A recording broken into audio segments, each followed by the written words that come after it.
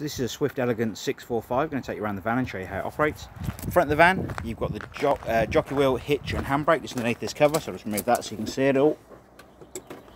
So underneath here, as you can see you've got the hitch, jockey wheel and handbrake. This is all stuff we'll take you through in person here on site and also the ATC and how that works. Front locker, you've got your gas regulator on the bulkhead with a yellow shut-off valve on the side of the regulator and your gas pipe work coming down to the bottle and you can carry a maximum of two 6 kilogram propane gas bottles inside the van anytime and you've got your leg winder down in the front of the locker itself. We've then got your Truma heating fluid on the outside of the van. Um, don't need to do anything with this, but we do advise you leave it open. Um, you'd never cover it up at all because it could actually warm anything up that's around it um, and cause an issue uh, the heating flow, sorry, um, it could actually cause an issue if it was covered up. Then got your dog shower connection, very simply, you'd pop this cap off here and you'd push the dog shower into place on the side of the van. You've got your wind down legs on either side of the caravan at the front and they are there to stabilise the caravan, not lift the caravan. If you lifted the caravan with these, it could actually damage the floor of the van. You've then got your water pump connection. So you've got a blue trigger normally on the bottom here. Just had to borrow a pump for this particular van, but there's a blue trigger on the bottom that you'll pull back and push into the side of the van. Then you'll drop your water pipe work down inside the barrel itself. Um, and that's for filling from the external tank. So just using the external tank as a water source. If you want to use the onboard water tank, you'd need to connect the electric pump into the top here, which looks very similar to this one. However, on the other end, it's got a big cylinder tube, essentially, that drops down, and it's got a pump in there that pumps up the water. So you push it into place here and I'll explain on the inside how you go between filling the two different tanks. You've then got your battery box and your mains power lead coming to the side of the caravan. Um, 240 mains coming in and you've got, like I said, your battery box with your connections there for um, the top of the battery. The wheel nuts will be torqued before the caravan leaves site so you can see they've been tightened correctly. Um, and we'll do those in front of you, like I said, and they'll be done to the correct manufacturer's setting. Down the side of the van, you've got your two grey waste pipes. As you can see here, you've got the two bits of grey waste pipe going into one, and that will drop down inside your waste master, so the fresh water that goes in the front has somewhere to come out down the side of the van. Then got your toilet flush tank. You'll put three and a half litres of water into this tank and a cap full of the pink fluid, um, and that's essentially your flush tank filled. So you can do that up then um, and we do advise you drain that down before you travel, which you do very simply by pulling out the bit of black pipe that's down, or the bit of pipe that's down the side here, and pulling the cap out the end. The waste cassette, very simply, you pull up the handle, pull the cassette towards you. The neck here turns out 90 degrees, so you can tip the waste away. The grey cap is a measure for your pink and blue fluids. And on the back of the cassette, you have a yellow, uh, an orange pressure relief button, so when you're tipping the waste away, it doesn't spit and splatter back at you.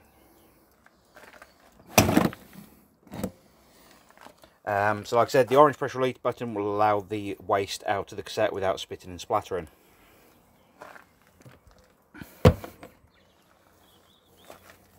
Going around, oh, sorry, in the back of the caravan, you actually got your two wind down legs to stabilise the caravan, as you can see. And again, they are just there for stabilising and not lifting the van. Coming around to the other side of the caravan.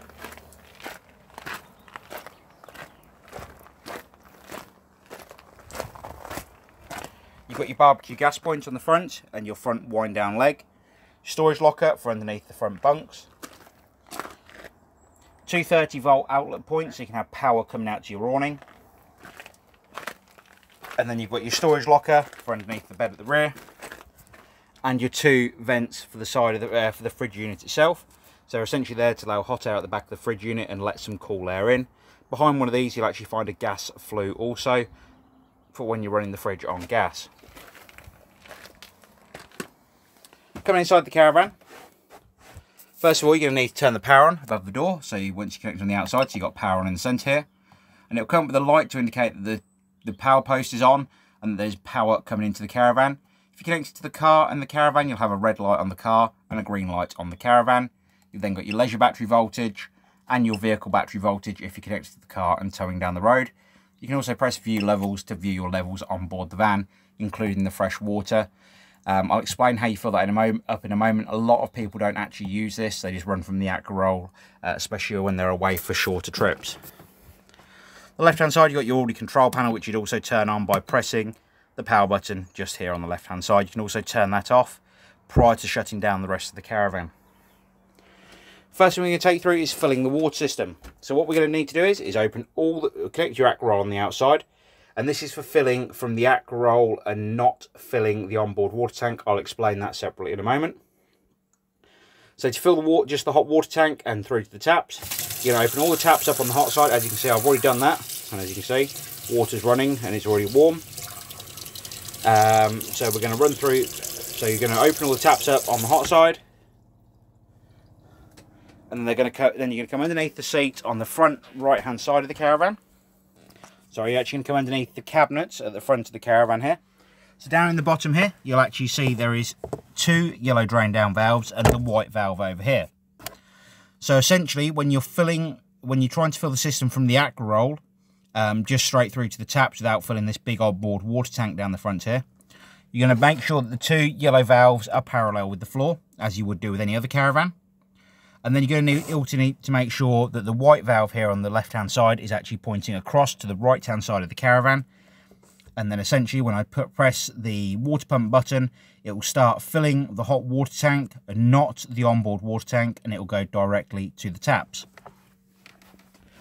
As you can see turn the water pump on and the water system will start filling up and then when you've got water running continuously out of every tap on board the caravan as we have now you can shut all of the taps back off. To actually use your onboard water tank, which is underneath the seat, down, uh, underneath the cabinets at the front here, it's going to be slightly different to fill the system. What you're going to need to do is, is get hold of the valve on the right, left, right, left hand side and put it into the down position. Then you're going to open all your taps up, the same as what you've done for, uh, to the onboard uh, to the hot water tank. And then instead of pressing water pump, but with your pipe work, the electric water pump connected to the top connection on the outside, you're going to press a fill tank instead. At that point, the water system will start filling up um, to the onboard water tank underneath the front cabinet there. And then when it's full, the pump will automatically cut off and you'll need to then um, shut all the taps off as you've done previously with the hot uh, with the hot water side. So that is how you fill your water system obviously, like I said, a lot of people don't use the onboard water tank. But one of the things to remember is when you're draining the water system, you need to make sure this valve's in the right-hand position. And this is all explained down the little uh, piece down the front here. But then to drain the water system, you're going to open all the water taps back up in the central position, then open the two yellow drain down valves down the front of the caravan. So that's your water system. Next up, you're going to come to your Alde control panel for heating the hot water on board the caravan. Now, as you can see here, hot heating pump is running, and that's what this is indicating to us here on the top left-hand side. We've got mains power coming into the caravan, and below that, you've got your room temperature or current room temperature.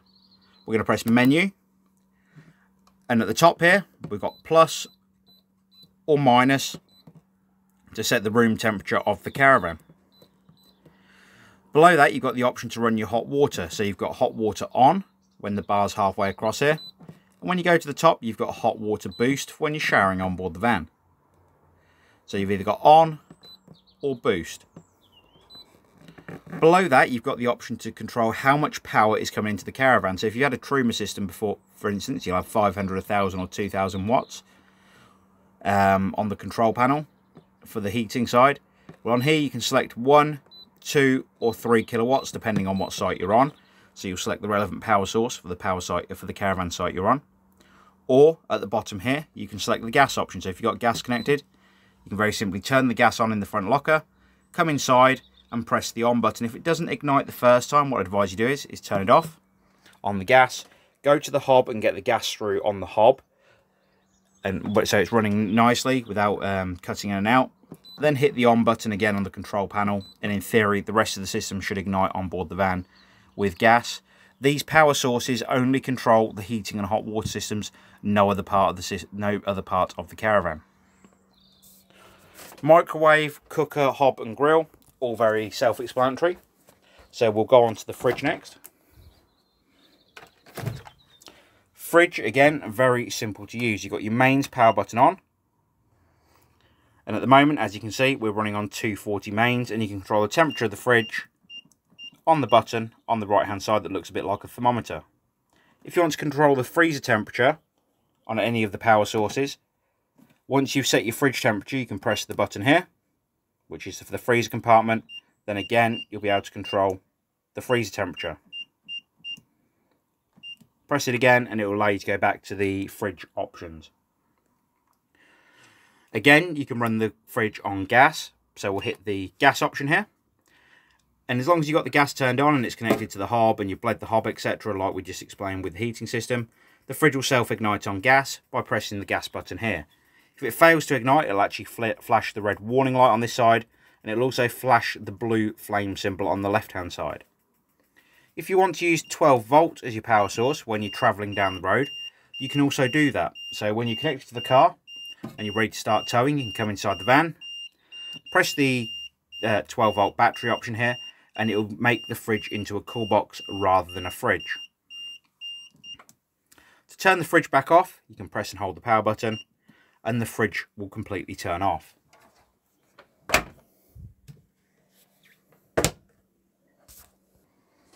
So the last part we're going to go through on the Swift Elegance is the toilet system. Toilet has an electric flush on top of it. It has a full indicator light to let you know when the toilet waste cassette is completely full. And below the seat itself has a grey waste handle here that you'll need to open up to allow the toilet waste into the cassette underneath the van. One thing to bear in mind is if you haven't had all the heating before, is these are these towel rails that you see, or the towel rails in the bathroom do hold heat for quite a long while once the heating system has been turned off. So please be aware of that and mind your hands and legs. If you have any further questions on the Swift Elegance 645, please don't hesitate to give me a call here at the Caravan Company and I'll be more than happy to help. We appreciate the business and we look forward to seeing you here on site when you collect your caravan shortly. Thank you for now. Bye-bye.